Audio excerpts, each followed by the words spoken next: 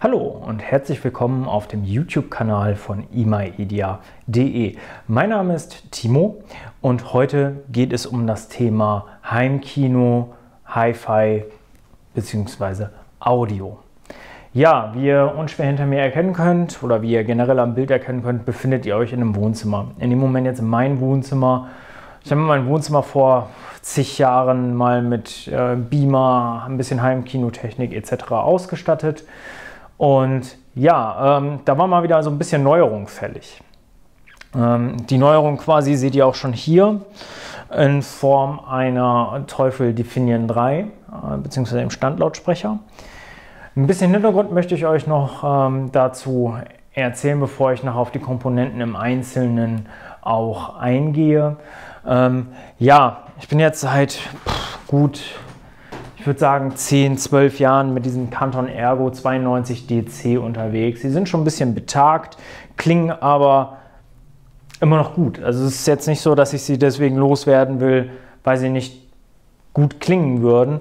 Ähm, genau das gleiche gilt für die Dipole, nämlich die R52er, die damals relativ schwierig zu bekommen waren, ähm, und den Canton Center aus der jeweiligen Serie, also auch ein Ergo Center. Ich hatte mir damals die komplette Ergo-Linie gekauft und das waren auch so mal so summarum, ich glaube 4, 4.000 Mark im Grunde genommen, also knapp über 2.000 Euro, 2.500 Euro, irgendwie sowas muss das dann heute im Äquivalent sein. Ich glaube, die kommen heute auch so zwischen 700 und 1.000 Euro das Stück, die großen Ergos. Ähm, ja, doch warum wechselt man? Oder warum wechsle ich? Und da ist jetzt natürlich meine persönliche Intention äh, führend. Dementsprechend äh, fühlt euch bitte nicht irgendwie auf den Schlips getreten. Ähm, ich gebe hier wirklich in dem Moment auch meine persönliche Meinung wieder. Ähm, und die ist halt auch nicht irgendwie bezahlt oder sonst was. Ähm, nein, also ich, da, da wir jetzt über Jahre schon euch auf imaidia.de oder auf worldtraveler.net äh, mit Videos versorgen ähm, und auch immer mehr in dem Bereich machen, war es ja irgendwann mal in der Zeit, so ein bisschen am PC auch aufzurüsten mit einem Audio-Interface, mit dementsprechend Studiomonitoren, damit man wirklich eine akkurate, sage ich mal, normalisierte Wiedergabe hat, ähm, sodass man irgendwie aus, davon ausgehen kann, dass es nachher auf vielen Geräten brauchbar klingt. Jedes Gerät letzten Endes klingt wieder anders wie das andere, von Laptop-Lautsprechern bis hin zu 100.000 Euro äh, Standlautsprechern im absoluten High-End-Segment. Ähm, alles ist ja dabei und da braucht man so eine relativ neutrale Abmischung.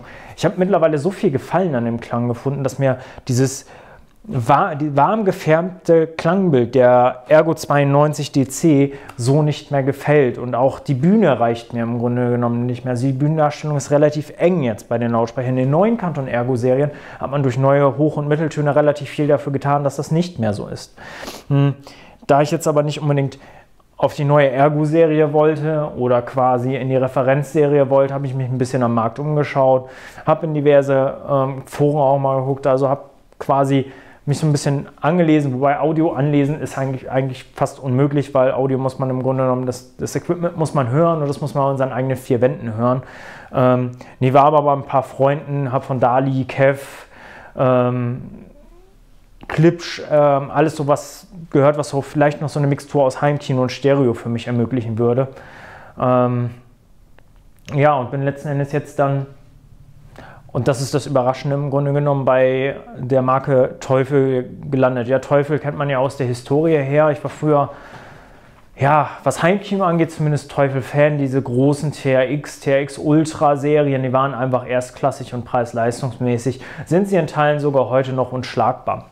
Also sprich, Heimkino kann der Hersteller. Ähm, was der Hersteller meines Erachtens nicht so wirklich gut konnte, ist das Thema akkurate Stereo-Wiedergabe, ohne so ein extrem bassbetontes Fundament unten drunter zu zimmern. Ähm, wer also mal die, so ein paar Standlautsprecher von, von Teufel im Einsteigesegment gehört hat, mag mir vielleicht beipflichten, aber wie gesagt, das ist auch persönliche, meine persönliche Meinung. Ähm, ich habe da auch einen ganz anderen Anspruch dran. Ich persönlich höre relativ viel ja, Jazz, höre Hip-Hop ähm, und vielleicht auch zwischendrin mal ein bisschen Charts und was da so drumrum kreucht und fleucht quasi. Ähm, ja, wie gesagt, also die Kanton an sich war ja kein schlechter Lautsprecher, nur wollte ich mal, war mir das Klangbild mittlerweile einfach zu, zu unpräzise, zu ungenau. Da habe ich geguckt, okay, was kriege ich preis-leistungstechnisch, um da wirklich einen Schritt nach vorne zu gehen. Und äh, umso mehr ich mich dann damit beschäftigt habe, abseits der üblichen Foren, die nichts anderes ganz oft betreiben als Teufel-Bashing, äh, oh Gott, Teufel. Also wehe, da geht ein Forum-User mit, mit dem Thema rein, oh, ich würde mir gerne Teufel kaufen. Dann äh, entweder antworten schon 70 Prozent der Leute nicht mehr oder, oh Gott, tu es nicht, äh, guck doch lieber da und da. Ähm, ja, ähm, da ist auch zur Definieren 3 Serie, die Definieren 5, also sprich die große Schwester der Definieren 3, gibt es ja schon ein bisschen länger ähm, am Markt. Die hat sich auch etabliert, die hat extrem gutes Pressefeedback auch bekommen. Das ist natürlich auch mal hier und da ein bisschen mit Vorsicht zu genießen, aber im Grunde genommen sind es gute Lautsprecher gefunden. Und die Definieren 5 hat Teufels Anspruch definitiv klar gemacht. Man hat ein Statement gesetzt, man möchte so ein bisschen am ähm, in Anführungszeichen bezahlbaren High-End. High-End geht ja bis MBL und Macintosh, wo ich dann Häuser quasi äh, kaufe pro Stück. Also irgendwie so eine Viertelmillion pro Lautsprecher und die jeweilige Stufe ist da machbar. Ne? Also, na, also wir gehen hier in das bezahlbare Segment, in dem wir sagen, okay, so 2000 Euro für ein Lautsprecherpaar, beziehungsweise sie liegen jetzt drunter. Ähm, das ist für mich in meiner persönlichen Meinung bezahlbar. Und ähm, da, wie gesagt, tummeln sich relativ viele Kontrahenten. Ähm, wenige Kontrahenten allerdings mit sowas wie einem Coax-Chassis. Äh, da fällt mir derzeit eigentlich nur, nur Kev ein, der das, als Hersteller, der das auch macht, um eine Punktschallquelle zu erzeugen. Das hat Vorteile nachher so ein bisschen im Thema Ortbarkeit, Tiefenstaffelung ähm, etc. Ja, ähm, was habe ich denn jetzt überhaupt gemacht? Was habe ich gekauft? Ähm, fragt ihr euch. Ähm, und ja, gekauft habe ich im Grunde genommen das Definion 3 Surround Set. Das kostet so, wie es bei Teufel steht, ohne sonderliche Rabatte, ähm, und Rabatte gibt es ja häufiger mal, ähm, 3000 Euro. Besteht aus zwei Standlautsprechern, zwei Regallautsprechern, ähm, die quasi ziemlich ähnlich aussehen wie die hier, ähm, nur halt ungefähr dann hier abgeschnitten. Ähm, klingen auch sehr, sehr gut, hätte vielleicht sogar gereicht, selbst für die Front, äh, weil sie genug Tiefgang besitzen und auch im Thema Präzision eigentlich wirklich gut dastehen. Dann dem Definion 3 Center, den ihr hier seht, ist auch ein relativ großes Teil im Grunde genommen, aber äquivalent jetzt auch zum Ergo nicht, nicht sonderlich äh, größer, beziehungsweise vielleicht sogar ein bisschen kleiner vom Volumen her, aber dafür breiter.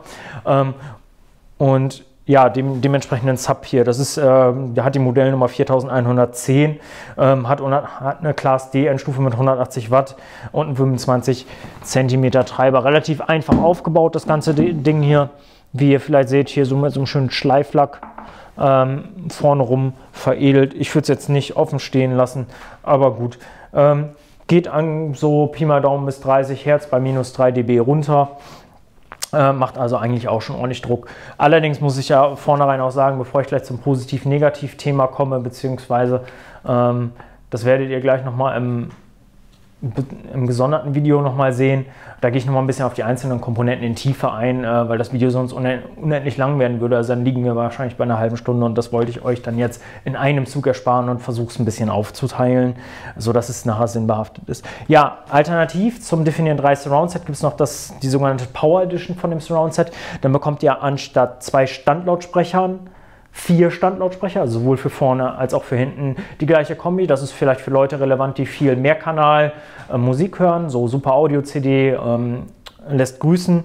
Ähm, sprich, ich habe vorne und hinten wirklich die gleiche Bestückung ähm, und das, wie gesagt, dann würde mir eigentlich in der Mitte noch ein Standlautsprecher fehlen, um es wirklich komplett zu machen.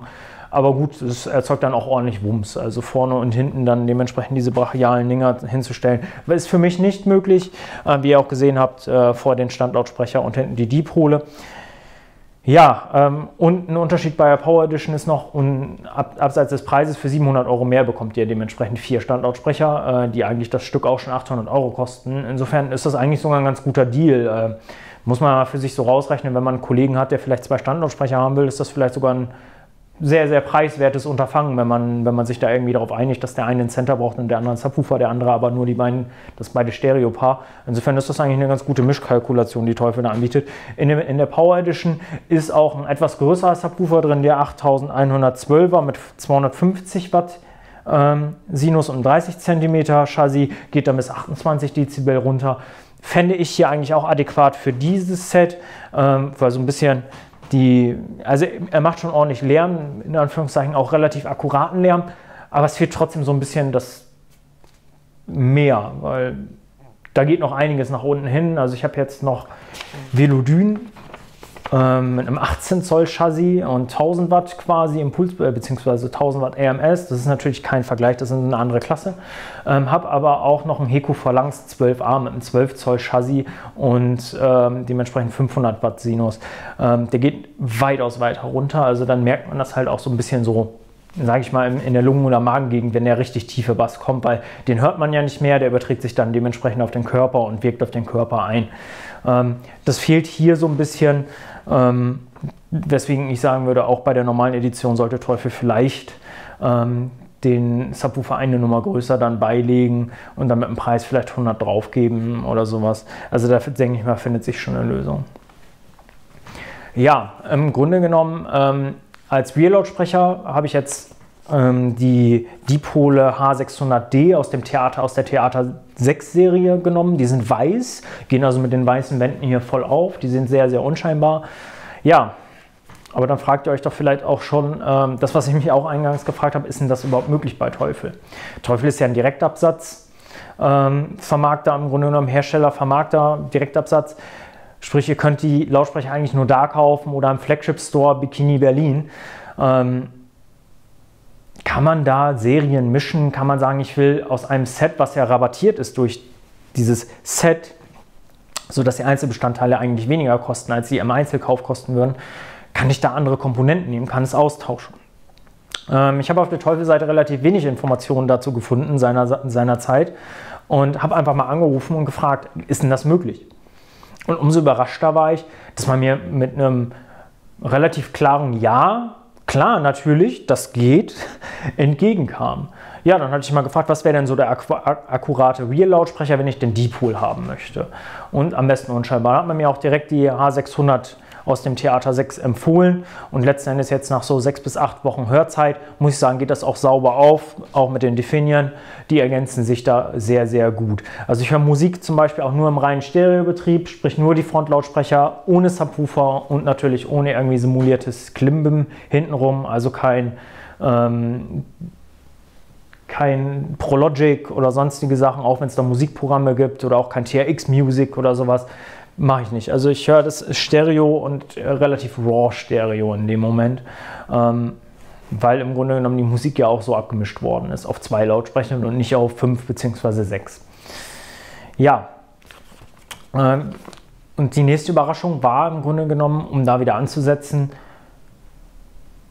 Teufel hat nicht gesagt, okay, äh, wir nehmen dann dem, dementsprechend die beiden Regallautsprecher, die ähm, definieren 3S da raus und packen die H600 rein und addieren einfach mal äh, die, da müsste ich jetzt mal selber ein bisschen blättern. Ich hatte mir das, ich habe das nicht alles im Kopf. Die H600D kosten 500 Euro. Ähm, und die Definier 3S Regallautsprecher kosten 1000 Euro rund dem Paarpreis. Also dementsprechend ist da schon ein ordentliches Delta drin äh, von 500 Euro. So, ordinär kostet dementsprechend das Definier 3 Surround Set 3000 Euro.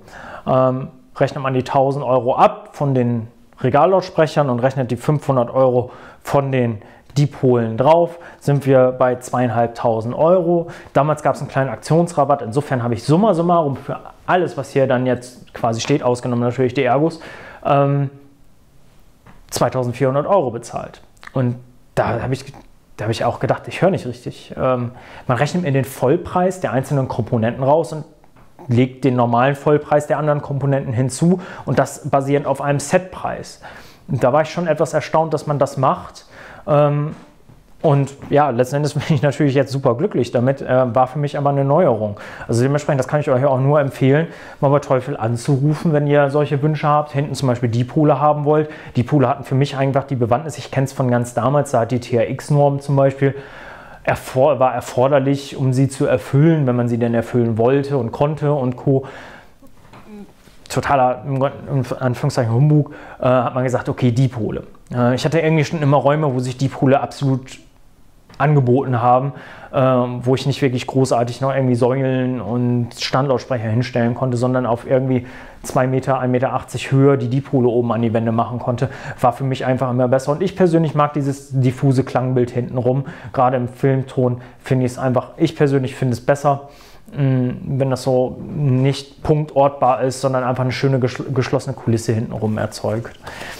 Ja, summa summarum, wie gesagt, bin ich jetzt bei knapp 2400 Euro gelandet für zwei Standlautsprecher, den Center, den Subwoofer, den ihr hier seht und die beiden Dipole, die ihr jetzt gerade nicht seht. Ich versuche sie gleich mal einzublenden. Ähm, und im Grunde genommen fühle ich mich, als hätte ich einen relativen Schnapper damit gemacht. Ja, zu den Ersteindrücken letzten Endes, was den Ton angeht und zu den Details der einzelnen Lautsprecher, ähm, würde ich gerne im folgenden Video eingehen, um das Video jetzt nicht noch länger zu, ähm, zu strapazieren und euch damit nicht irgendwie da 30, 40 Minuten quasi vor YouTube direkt zu binden. So habt ihr die Möglichkeit, auch den anderen Teil danach weiter zu gucken. Dementsprechend würde ich jetzt hier erstmal Schluss machen.